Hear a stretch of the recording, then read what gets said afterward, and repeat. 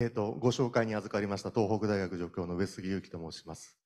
えー、私が、えー、提案するシーズ技術ですけども、えー、非常にシンプルでして、ここの真ん中に書いてある、えー、のが全てでして、えー、フェムト秒レーザーというレーザー装置ですね。フェムト秒レーザーを使って非常に薄い材料を、えー、壊すことなく加工する技術を、まあ、発見した、開発したというのが、えー、私の、えー、提供するシーズになっています。えー、そういったあの薄い膜材料、白膜の材料っていうのは、実は、えー、21世紀は量子科学を駆使した、まあ、産業時代になるということが言われてますけども、まあ、そういったあ量子デバイスの開発に実は欠かせない材料なんですね。で、えー、ということはそういった白膜材料を加工したりなんか機能性を持たせるというエンジニアリングの手法も当然必要になってくるだろうというのが、えー、私の考えです。まあ、例えばここに並べて、左上の方向に並べてますけども、まあ、従来からあるナノテクノロジーで、 MEMS と呼ばれる、まあ、非常に小さい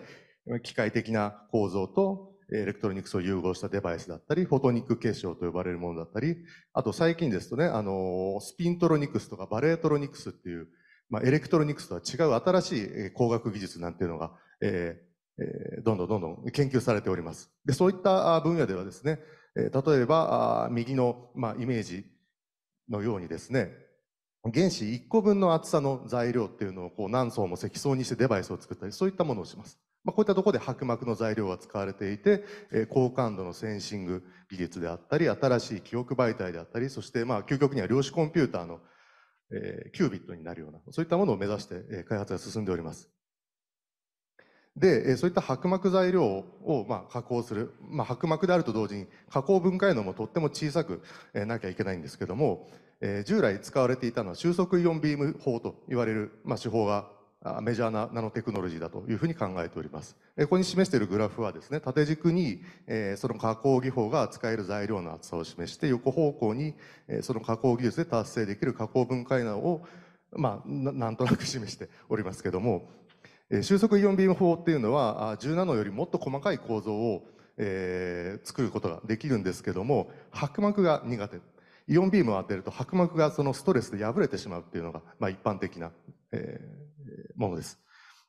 でそれに対してフェムト秒レーザーを駆使した私の技法を使うと原子1層の厚みの材料ですら壊さずに加工がどうもできるっていうことが分かってきました。具体的なデモンストレーションをここに、示してますけども、左にあるのが、厚さが10ナノメートルの自立した宙に浮いた窒化シリコンの薄膜材料です。ここにレーザーを照射して100ナノメートルのちっちゃい穴を開けることができました。で、その左の下の方にあるのはですね、レーザーっていうのは数本こう重ねるとですね、干渉パターンを形成します。その干渉パターンに沿って一発レーザーを打っただけで、まあ、様々なパターニング加工ができるっていうのも白膜で試しております。で、右にあるのがですね、グラフェン。炭素原子1個の厚さしかない、まあ、結晶材料。これもレーザーを当てるとやはり加工できたっていうのが最近の成果で、面白いことにですね、ただ加工できるだけでなくって、穴が開くちょっと手前くらいのパワーにコントロールすると表面のコンタミネーション汚染物だけ飛ばせるクリーニング技術にもちょっとなりそうかなというので最近注目しております。はい、えー、こういったあのフェムトベロレーザーを使った白膜材料に対する、えー、シーズ技術というものを使って、えー、どういった社会実装を目指しているのか、まあ、あの私の、まあ、今現時点での、えー、考えですけども例えばあ加工製造の委託事業。私の技術をメーカーさんフェメトビオレーザーとかすでに研究開発しているメーカーさんに提供して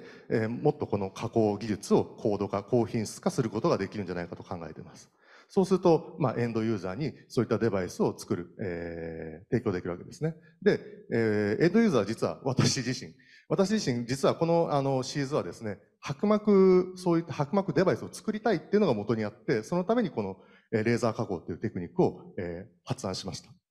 まあ、という意味で、えー、実はあ使用用途は結構ありそうだっていう、え、感触を得てます。でもちろん、えー、今回の、えー、シーズ技術の話を聞いて膜上のデバイスを一緒に開発したいという、えー、企業様と新商品のデモンストレーションなども、えー、つなげていけたらなということも考えております。えー、詳細については、えー、私のブースの方に来てぜひ、えー、相談ないしさせていただければと思いますのでよろしくお願いいたします。